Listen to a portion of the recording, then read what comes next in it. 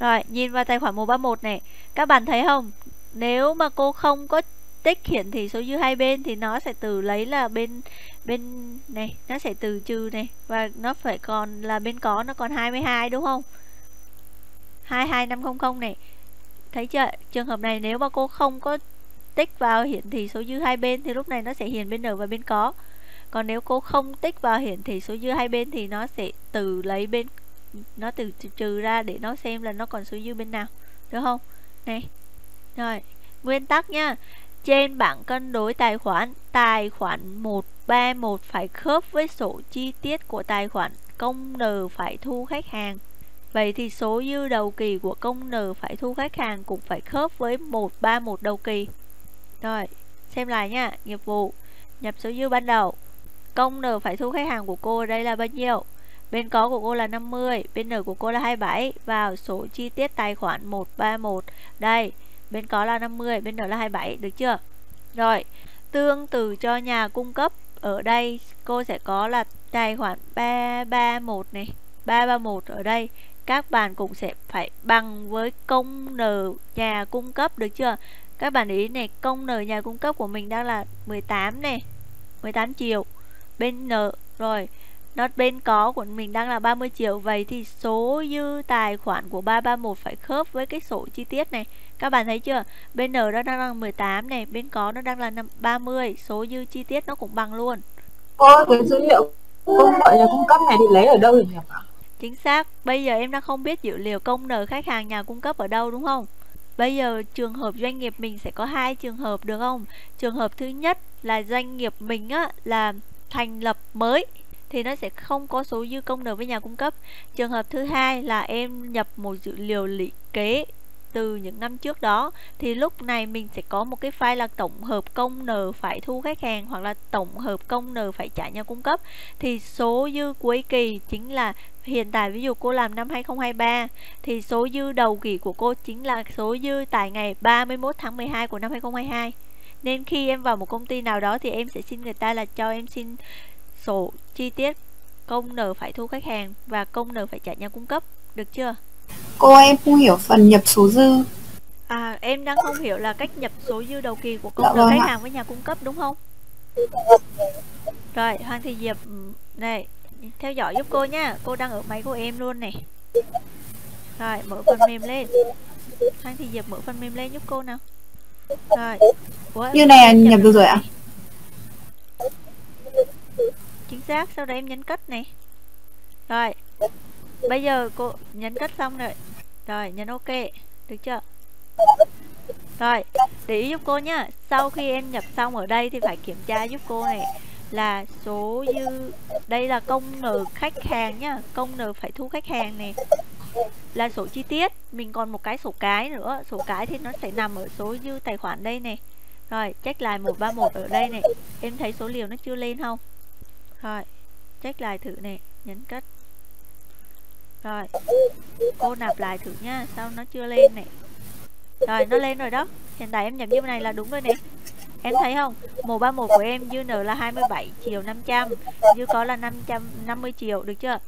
Rồi công nợ phải thu khách hàng này dư có của em là 50 triệu này dư nợ là 2, 27 triệu 500 như vậy là đúng rồi đó Diệp.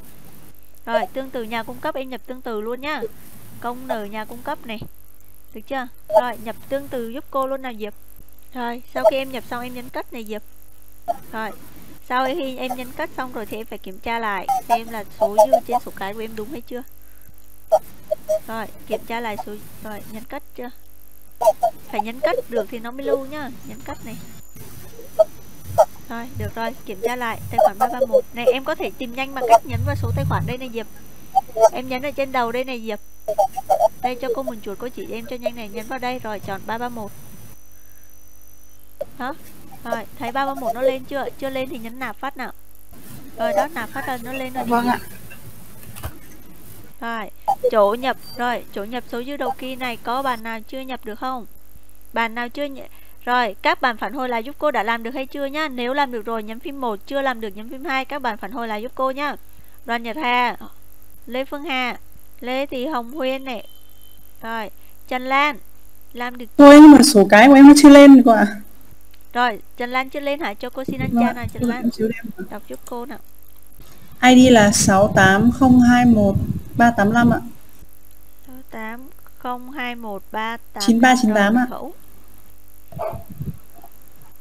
9398 Rồi các bạn khác lưu ý nhìn vào máy của bạn Nhìn vào máy của bạn Lan giúp cô luôn nè Rồi nguyên nhân các bạn chưa lên á là Rồi mở phần mềm Rồi ạ. lên giúp cô nào Lan Nguyên nhân các bạn chưa lên á là các bạn đã nhập ở bên kia rồi Nhưng mà phần mềm bên lên nó chưa loát kịp Thì các bạn sẽ có một cách để nó loát là nhấn vào nút lại nạp Nhấn vào nạp giúp cô này rồi, check lại tài khoản 331 với rồi nhấn vào số tài khoản đây này Lan. Rồi 131. À, rồi, được rồi. Rồi, lên rồi này Lan ơi. Rồi, check lại 331 thử xem lên chưa.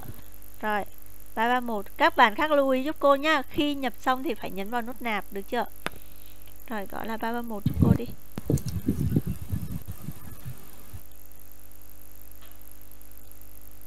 Rồi, 331 lên luôn rồi dạ, đấy. vâng ạ, được rồi ạ. Vừa em tìm không thấy ạ. Rồi. Hiện tại rồi không sao. Hiện tại cô có giao bài tập về nhà cho các bạn hôm trước ấy, nhưng mà cô chưa thấy bạn nào nộp hết nên là buổi sau các bạn nhớ nộp nhá. Dạ vâng ạ. Để cô hướng dẫn tiếp phần tiếp theo á. Còn cái công nợ phải thu khách hàng với nhà cung cấp, hôm nay mình chỉ học cách nhập liều dễ nhất thôi. Là cách đơn giản nhất và tiền nhất. Hôm sau cô sẽ hướng dẫn các bạn cách in bọt từ file Excel vào, bởi vì mình không thể nào nhập tay thủ công như vậy được. Nhập tay thủ công như vậy nếu mà làm dữ liệu cũ, lỡ các bạn có tới 1.000 khách hàng mà nhập tay 1.000 dòng, làm sao biết được các bạn có nhập sai chỗ nào không? Các bạn mở sẵn khung chat giúp cô nè. Bây giờ cô check lại kiến thức các bạn một xí nhá. Hạch toán lại giúp cô nghiệp vụ mua hàng và bán hàng. Rồi, đầu tiên hạch toán giúp cô nghiệp vụ mua hàng. Nghiệp vụ mua hàng thì có những cái bút toán nào hạch toán lại giúp cô, bên N là tài khoản nào, bên có tài khoản nào. Rồi, tất cả chat vào khung chat giúp cô nhá. Hiện tại nha. Rồi, các bạn lưu ý giúp cô này nghiệp vụ mua hàng N tài khoản. Nó sẽ liên quan đến 156 này. Rồi 153 152 N. Tài khoản 1331 có tài khoản 331 được chưa? Vậy lưu ý, các bạn lưu ý giúp cô nhé. Tài khoản 331 Nó sẽ nằm ở đâu trong MISA Đây. Công N phải trả nhà cung cấp. Đây này, thực ra các bạn nếu mà có quên á, thì vào nghiệp vụ nhập số dư ban đầu này mở công N phải thu nhà cung cấp ra thì sẽ thấy là nó là tài khoản 331 này, được chưa? Rồi, tương tự bán hàng thì nó sẽ là công N phải đây này, công N khách hàng thì nó sẽ nằm ở tài khoản 131 được chưa? Rồi, lưu ý giùm cô nha, mua hàng sẽ là 331, bán hàng là 131. Được chưa? Rồi, hôm nay các bạn nghỉ ở đây nhé. Buổi tiếp theo cô sẽ hướng dẫn các bạn cách thực hành tiếp là nhập số dư ban đầu của những cái còn lại. Được chưa? Sau đó mình sẽ cầm cái chứng từ để hạch toán thực tế nhé. Rồi, buổi hôm nay mình sẽ tạm nghỉ tại đây nhá. Có bạn nào hôm nay không hiểu chỗ nào không? Rồi, Hoàng Thị Diệp đang gọi gì vậy? Mở mic giúp cô đi Hoàng Thị Diệp. Rồi, vậy thôi, hôm nay các bạn nghỉ ở đây nhá. Rồi, có bài tập về nhà nhớ làm nhá. Rồi, nhớ làm bài tập về nhà nhá.